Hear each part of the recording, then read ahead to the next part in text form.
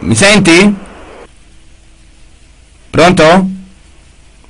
Forse non so se ci siamo, proviamo nuovamente a, eh, proviamo nuovamente a, ripristinare, a ripristinare il collegamento appunto con uh, Piotta perché tra l'altro eh, avevo fatto una domanda molto particolare, eh, forse non doveva rispondere a questa domanda, ricordiamo appunto che eh, abbiamo parlato appunto del, eh, di quello che eh, è il messaggio appunto che viene dato alla, ai giovani appunto gente spesso ehm, sente quasi il bisogno di ehm, eh, compiere degli atti tipo come l'evasione delle tasse, roba del genere. Eh, però poi naturalmente, eh, ecco, nuovamente siamo in linea, nuovamente eh, ecco, ci siamo, ecco. Avevo preso... Mi piace non ti preoccupare perché sai che quando siamo io e te facciamo sempre delle bellissime chiacchierate con argomenti molto anche intensi e seri, per cui farlo così al telefono... Non ti preoccupare, cioè... eh, però comunque no, voglio andare avanti di quella cosa che, che, che mi dicevi che poi di cui un po' perso, sono arrivato fino all'indulto. Ecco sì, no, diciamo che io so che è bellissimo, tu oltre ad essere un grande, bravissimo musicista, un rapper, eh, un grande conoscitore appunto di quello che è la, la scena musicale, eh, tu sei anche un grandissimo osservatore appunto del nostro tessuto sociale. Eh, qual è il messaggio? Prima l'indulto in qualche modo ha abbonato reati come corruzione, concussione, soprattutto riferendomi appunto all'evasione delle tasse, prima anche reati finanziari. Eh, qual è secondo te il messaggio eh, che è stato dato? Eh, innanzitutto negativo o positivo e se, mh, mm, seconda appunto della tua risposta, eh, quale messaggio, com'è, com'è stato questo messaggio appunto per i giovani? Ma eh, cioè, nel senso che guarda, eh, l'indulto apparentemente a livello etico può sembrare una forma di perdono, però diciamo che quando questo perdono viene fatto per eh, proteggere pochi potenti a discapito della massa, credo che poi da un esempio che forse può avere delle cose positive diventa invece un, uh, un banale scambio di, di favori a livello politico e di potere, per cui il messaggio che non ho ricevuto io, però tante altre persone con cui ho parlato, è piuttosto negativo. Perciò diciamo è stato un, un po' uno scivolare su una buccia di banana di questo governo effettivamente. Eh, guarda, onestamente sì, sono tante cose che pensavo potessero girare meglio, invece non mi sembra che stanno prendendo il verso giusto, per cui non so, alzerò più dal letto la prossima volta per votare.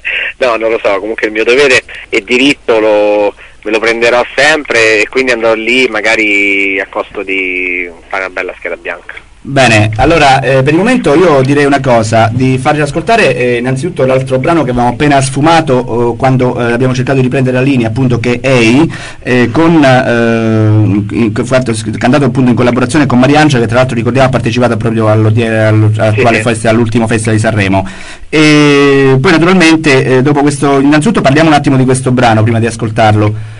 Ma EI è un'analisi un po' del, del rapporto uomo-donna fatto negli anni 2000, eh, quindi dove io cerco questa donna ideale e eh, non la trovo mai, o meglio, alla fine la trovo, ma è lei che non vuole eh, stare non con me, proprio con nessuno, perché in quanto, tra virgolette, insomma, eh, moderna, vede questa modernità come essere comunque completamente libera da, da vincoli eh, anche sentimentali. Logicamente questa è un po' eh, accentuata insomma, questo, questo, tipo di rapporto che comunque esiste nella società, però eh, è un, una fetta insomma, di, di, ragionamento che esiste e qua diventa un po' protagonista all'interno della canzone.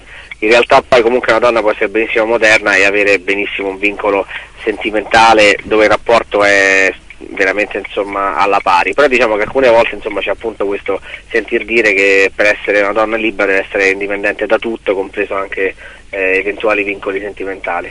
Perciò io direi a questo punto di farla ascoltare, poi naturalmente dopo eh, ci sentiremo nuovamente e prenderemo cioè, un, un, collegamento più tardi, naturalmente come previsto in scaletta, eh, perché poi tengo a far ascoltare più tardi una canzone molto, eh, import molto importante, insomma l'ora di arrivarci e voglio parlarne. Comunque per il momento ci ascoltiamo Ehi e noi ci sentiamo più tardi, insomma, nel, bene, corso, nel, corso, allora. nel corso, del programma. Bene. Ascoltiamoci, salutiamo appunto Piotta e ascoltiamoci appunto dall'album Multiculti, Multiculti appunto appunto Ei, infa- cantato insieme a Mariangela, appunto in coppia con Mariangela, che una, eh, ricordiamo ha partecipato all'ultimo festival di Sanremo.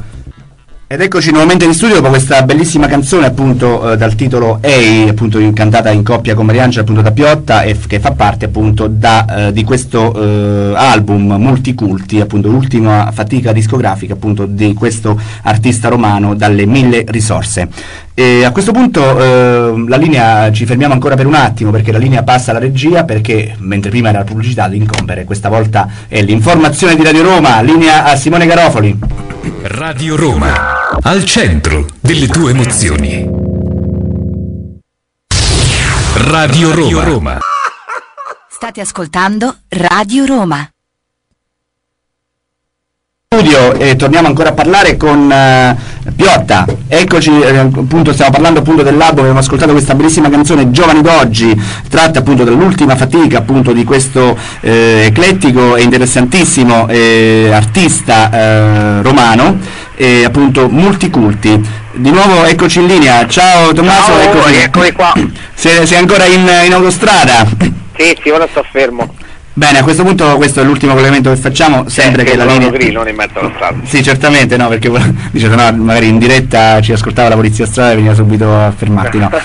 Assolutamente no. Eh, non si usa la corsia di emergenza per parlare con Radio Roma, si usa l'autogrill e nuovamente a parlare con te. Eh, tenevo moltissimo a far ascoltare questa canzone eh, che in qualche modo mh, è un, uno spaccato di, di verità fo- forse di quello che ehm, il, il mondo dei giovani di oggi. E non, non sei il, già qualcuno eh, aveva mh, toccato questo tema appunto dei giovani. Ricordo un, un grande Franco Califano qualche anno fa in una bellissima canzone. E mi fa molto piacere che tu abbia eh, toccato questo tema. E questo qui è stato in, in collaborazione appunto con Bassi Maestro e Turi.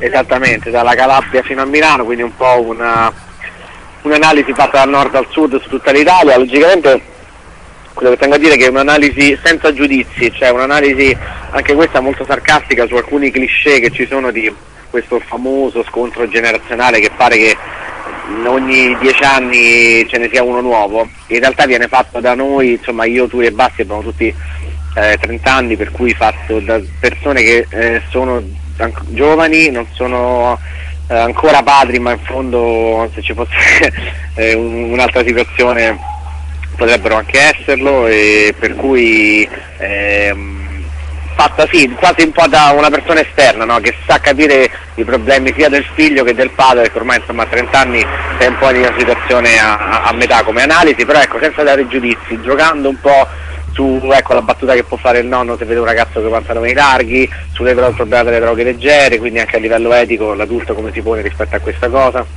tutta una serie di cose di questo tipo. Senti, ma eh, logicamente sì, diciamo c'è sempre lo scontro generazionale eh, che si rinnova ogni dieci anni. Effettivamente eh, il mondo degli adulti ha sempre guardato, da sempre direi, perché tra l'altro io proprio ultimamente stavo sfogliando un libro che parla appunto di tendenze giovanili eh, a partire dagli anni 50 ad oggi sono state sempre, effettivamente i giovani hanno fatto sempre tendenza eh, e sono sempre distaccati da quello che eh, era il mondo degli adulti e che poi quelli, quei giovani che poi sono diventati adulti e sono sempre distaccati dal mondo di quelli che, eh, degli nuovi giovani che poi sarebbero diventati ancora adulti, questo è un giro, un giro di parole.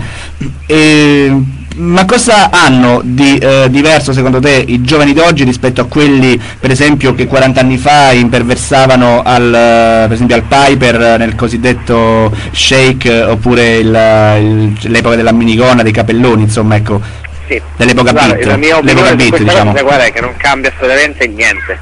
Cioè, nel senso, cambia il nome della droga leggera, cambia il nome del, del can- cantante del momento, cambia il vestito, una volta è largo, una volta è stretto.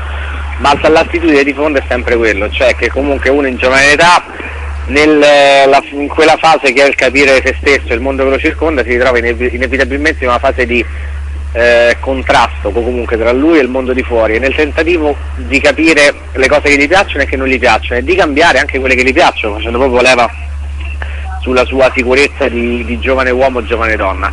Però ecco, eh, c'è questa forma quasi automatica di, di rifiuto, di protesta e di tentativo di, di cambiare. Poi con andare avanti nel tempo questa fase si sopisce, ma hanno detto che, che- che- che non ci sia, cioè c'è in altro modo.